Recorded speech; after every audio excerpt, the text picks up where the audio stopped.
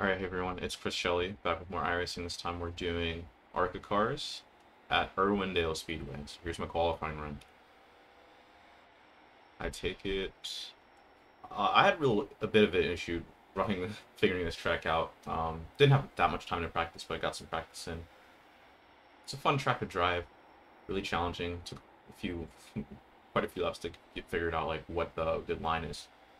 You're gonna run on a high, um, and there are some little things about this track that I'm going to talk about throughout the race, but run a high, sort of somewhat take a traditional line, except you have to, there's one little thing you have to consider with braking. This setup, it's really loose the rears on corner entry, so you gotta be careful of that. But just run that line. That's a good. I feel like that's a good qualifying line. You don't really need to run very high up in the corner, just about where that seam is for qualifying, and you can get those laps down pretty quick and get a good lap. I wouldn't go any higher just because it seems like there's not enough rubber down anywhere further up the track to really make up enough grip. So I just run that. We got a 263. That was among one of the faster lap times in that I saw, at least for qualifying. I'm sure there's faster possible, but I got pulled, so I didn't need to go any faster. so let's move on to the race here.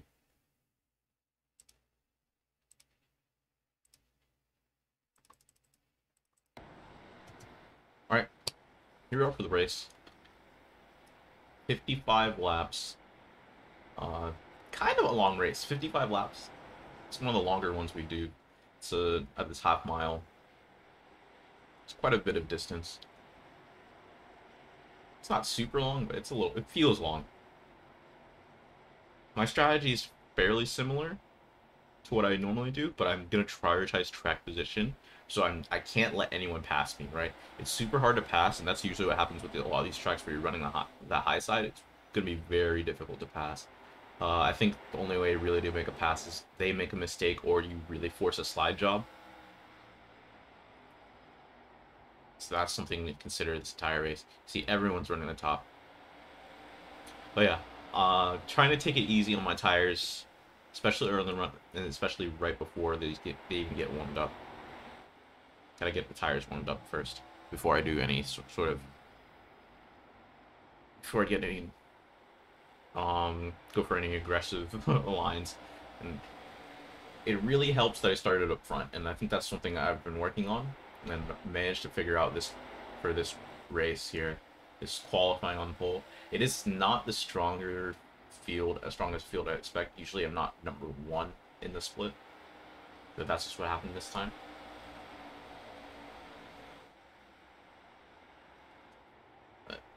We'll take that. So yeah, you can see um, my strategy for saving tires, not throwing a bunch of wheel in it, right? I try to be very gentle with the wheel, but gentle with the brakes. Not so gentle with the throttle, but a little bit gentle with the throttle. This is different. This this this track is different um than a lot of what I felt at other tracks because of how how loose the setup is it's really easy to slide the rear, especially on corner entry. Especially on corner entry. So, yeah, you are sort of rear limited uh, on grip throughout a lot of the corner if you're not, depending on your driving style. That's what at least what I was experiencing. Um, it could be, I don't know if for me running the bottom, I was running a slightly different line. And I say the bottom, right? I'm running that around that white line, sometimes dipping under it with my left sides. That's very that's very low in the groove for compared to what all other people are running. Uh, I think there's a bit more banking close closer to the wall, but I didn't like it, especially when I was trying to save tires early on in this run. I did go up there a little bit later. So like I usually say when you have these multiple groove tracks, going higher can be faster, and it's a stronger defensive line, and it just gives you more run down the straight, right? Especially as you look at um, trying to keep your speed up as the tires wear out. You know, you're gonna want to stay in that I. You're gonna be in that optimal RPM range longer when you run the high side because you're just keeping up more speed. But because you're, you know, ripping through with grip, more grip on the top, you're also wearing the tires more, which is again always a trade-off. So always some sort of physical trade-off when you when you're trying to make those uh, running any certain line. So that's why I like running this. And I wasn't too pressured by the 7 car. Like, the, the 7 car is really up on me, but I, keep in mind, I was trying to save tires, really, for the most part. I think I didn't really start going aggressive until about this lap right here when they started battling. So I noticed they were battling behind me. And I figured, okay, let's go for it. So let me show you my main line that I ran throughout this race. It still wasn't 100% because I knew it was lap 12 of 55. But this is about the main line, and I'll describe describe my uh, thought process here. So, corners are going to be rough. Corner entry is rough because of this one thing. Look how, look where the car goes when you're in the corner. You notice that? It's fault. So the car is sort of, at least in my opinion, and what it seems like, is there's some sort of like falling into the corner. And you see the banking's there, and you're kind of just dipping. You go into the corner, you're falling down into the banking. You know, a lot of a lot of different tracks have different ways of doing this. Like Bristol, a lot of times you're climbing up the hill, right? If you're especially running the high side, you're climbing up the hill into the track. Here, you're falling down. And what I noticed uh, is, is I think that's, at least my theory is that that's what's causing this loose on entry condition. You can see I'm fighting it, like my rears are sliding, heading into the corner.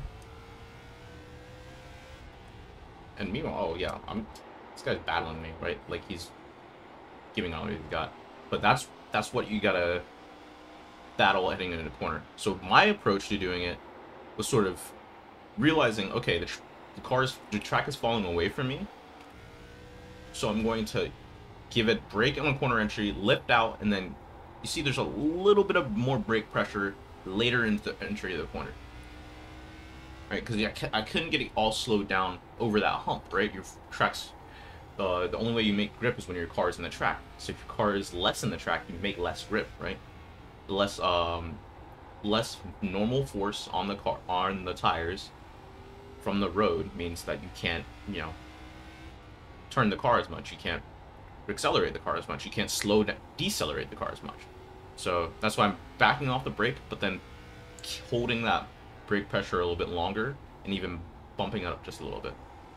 And that's what helped me sort of not spin out heading into each corner. Is just taking it easy over that hump while the car is still following, especially while the rears are still trying to find traction.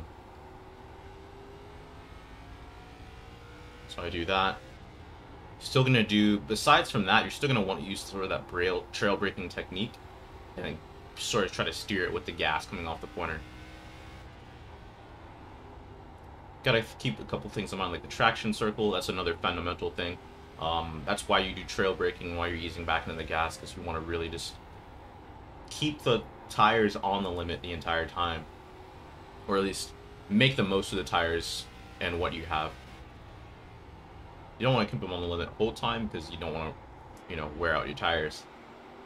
So we're up 21 and 55. So it sounds like it's a long race, like 55 laps for these ARCA cars sounds like a lot, but we're clicking it off pretty quickly. Seven car, you can see him running higher, but he's getting up in the wall. And another reason I like this this lower line, and I had a, such a tough time wanting to get off of wanting to get off that lower line, is because everyone was running higher. Like I can go back here. Let me. Uh, it's wrong key. Wrong key. So this guy's running high. This guy's running high. This guy's running high. This guy's running high. High. High. Every eight car is the probably the first one we see right back here, just running lower. And I don't even know if he really meant to do that, or he's going. He's doing a little bit of an interesting line. He's sort of late apexing it because of the way the entry, corner entry is. I can see that working as well. But he Come runs lower. He runs lower than. Uh, what everyone else is doing. So he's running lower like me. so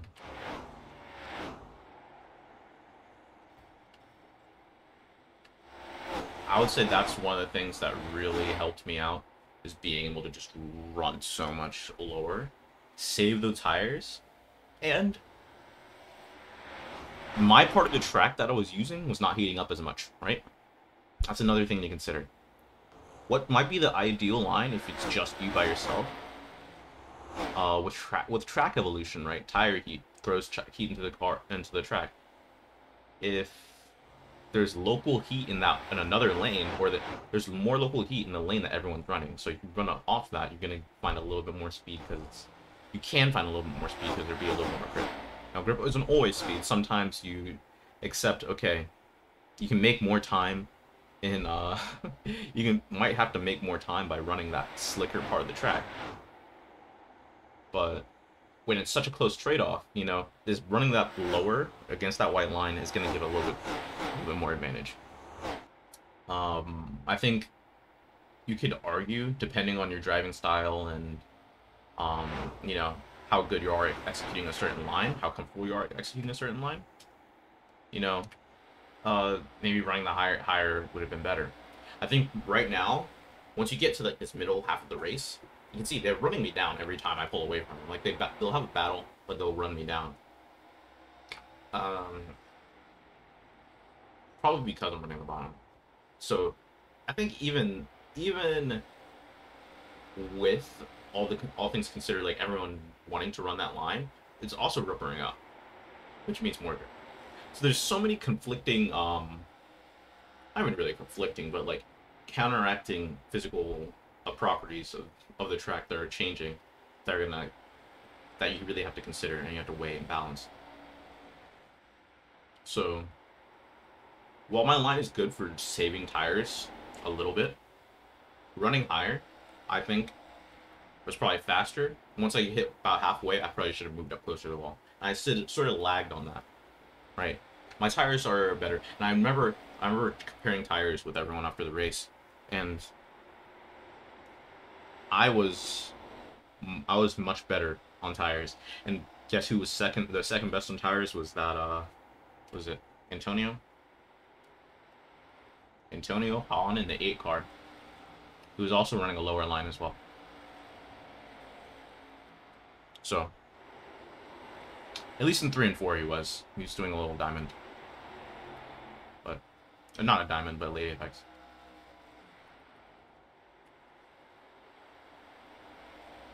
They keep catching me. And they also had this, you also, honestly, if they worked together somehow, I don't know how that would have worked. They probably could have tried to make a run at me, right? It just never happened. Never happened. I had it too easy. This is and this is why track position is so crucial, right?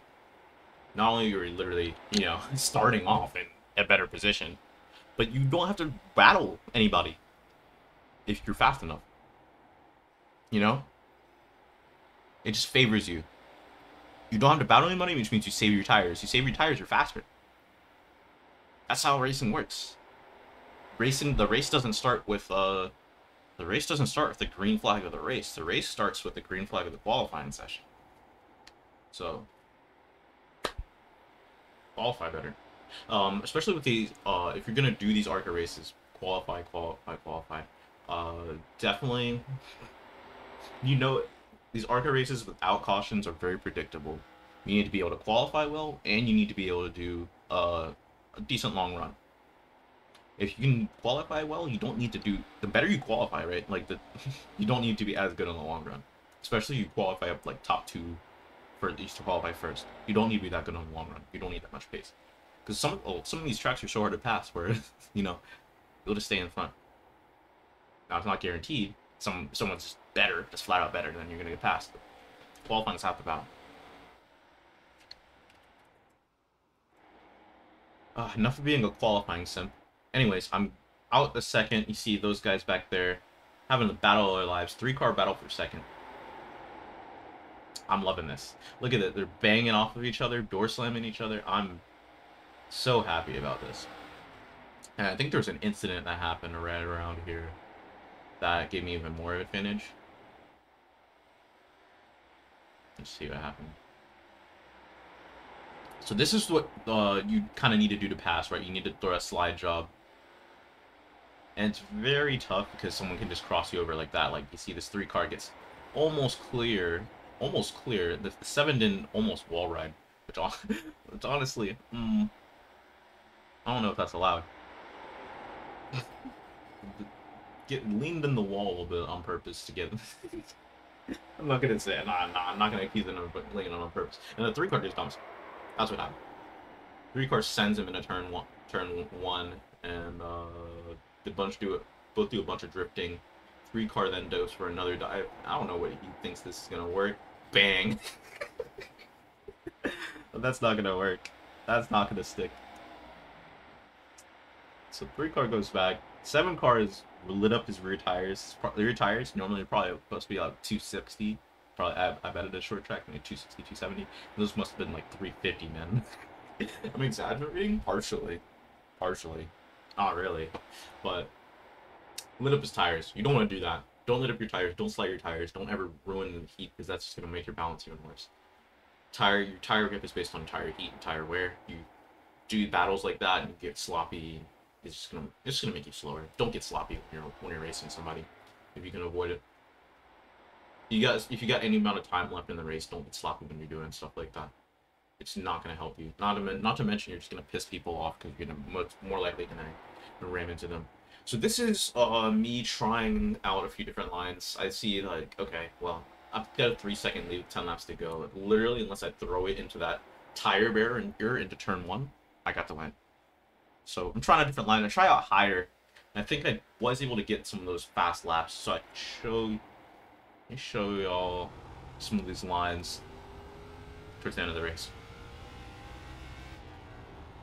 So entering higher, I kind of give it like a very straight entry. Let the car, let the track sort of carry me through the corner. I, now I'm not 100% sure. It, to me, it feels like there's a little bit more banking up there. Very in that very high line right against the wall.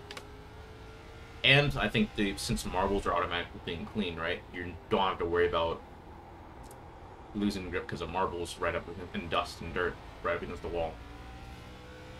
So very uh I think it's stronger on the up high. So if we're gonna compare lap times you see in the top left. This one is a 206. Let's see that what the two car clocks in. A 161. But I'm still fighting loose condition which you know sometimes is good. Right, uh, I really like that at speedways, and most of these most of these cars, right? Uh, ARCA car, and then once you, especially when you're looking at like the truck and to some degree Xfinity, not as much, but some degree Xfinity, you want to get that right rear out because like the aero aerodynamically you have so much side force, you have the tendency for it to straighten the car out. So you, it's honestly just physically that's diet like for from a dynamics perspective, physical dynamics perspective, that's ideal. These short tracks, I don't know about that. um, you gotta get it to rotate, right? You're never gonna be able to turn the car when it's straight. Physically, it's not possible to turn the car when it's straight with how the wheels work. but something to consider. So here you go, running 195 that lap. But I was still struggling loose condition. Uh, you may have noticed I ran basically, I think I actually did run a default brake bias. Usually I lower it down. I ran in default this time. It's way too loose in corner entry. So kind of running high. Here I tried it again and I have to coast a million. I have to coast forever because I literally just was not catching the rear. I, didn't, I didn't like how it feels. Uh, that might have been fast. It might have been a fast way to do is pick up the throttle and try to save it. There's no need for me to try and challenge that. Uh, I definitely think with more practice, if I were to do this race again, I'll practice again, trying that high side, especially in those longer runs. I did what I needed to do before this the race started. The important, most important part of this race, you saw, and that was in that first minute and a half where I did qualifying. So that's enough. I said I was gonna stop simping for qualifying, but I just did it again. That's fine. We take the win. Thanks for watching, guys. I'm had a lot of fun with this race. Had a, fun, a lot of fun um, running it. Fortunately, this I this uploaded. Per, it's gonna be essentially it's after the week is when I'm uploading this, so uh, You won't be able to use it for this week, but you'll be able to look at it for up for upcoming seasons if you're com- coming back to this, if you're seeing this in the future. Um, but there's also some good concepts and I think good lessons. Plus, it was a good fun race. It uh, had good funny moments. Those guys battling hard for second. So, all in all, it was good fun. Thanks for watching. I'm Chris Shelly. Uh, please like and subscribe for more. Uh, season four Iverson about to wrap up soon, so it's been it's been fun and hope to continue doing this in the future. All right. Please like and subscribe for more. See you guys later.